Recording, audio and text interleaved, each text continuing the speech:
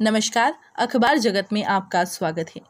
इंदौर शहर में अनलॉक होने के बाद चोरी की वारदातों में लगातार इजाफा हो रहा है। इसी कड़ी में द्वारकापुरी थाना क्षेत्र में शाती चोरों ने दो सुने मकान को अपना शिकार बनाया है। पहली घटना ऋषि पैलेस कॉलोनी की है, जहाँ रहने वाले बलवान सिंह राठौड़ अपने भाई के घर गए हुए थे। इसी दौरान चोरों ने उनके सूने मकान को निशाना बनाते हुए नकदी व जेवरात चुरा लिए। इसके साथ ही चोरों ने द्वारकापुरी कॉलोनी में रहने वाले राजेश के सूने घर को अपना निशाना बनाते हुए नकदी व जेवरात पर हाथ साफ़ कर दिए। मामले में पुलिस का कहना है कि चोरी की वारदातों को देखते हुए पेट्रोलिंग टीम को कॉलोनी में गश्त करने को कहा गया है।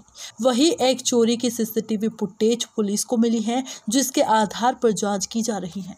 एक तो ऋषि पैलेस में बलराम सिंह राठौर ये उनके भाई रहते हैं माचला में। तो वहाँ ताला लगाकर 27 तारीख को गए हुए थे कार्यक्रम में। और सवेरे उनके लड़के ने जो कि दूसरी जगह रहता है, उसने घर पर देखा, ताला टूटा हुआ है।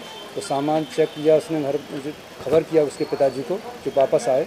उन्होंने देखा तो उनके घर से कुछ नकदी रुपए व कुछ चांदी के कुछ जेवरात ये चोरी हुए हैं। जिसमें अपराध दर्ज कर लिया गया है। लगभग कितनी कीमत और कीमत लगभग इसकी करीब पैंतीस हज़ार रुपये के आसपास है। पुराने जेवर हैं चांदी के कर कर धोना वगैरह हैं। और एक दूसरा प्रकरण है द्वारकापुरी का जो कि पाँच सौ अड़तालीस द्वारकापुरी में है जिसमें राजेश धमडेरे ये उनकी ससुराल चले गए थे घर पर ताला लगाकर।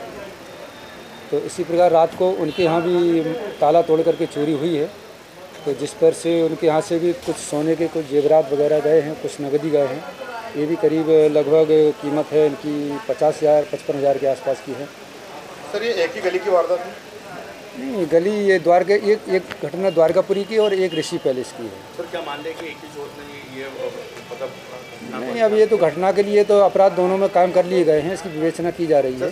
सीसीटीवी फुटेज वगैरह वहाँ देखे गए हैं।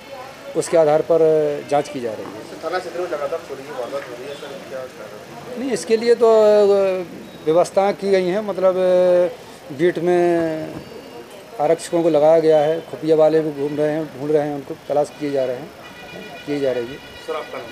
मैं थाना द्वारकापुरी से रमेश चंद्र जोशी सहायक उप निरीक्षक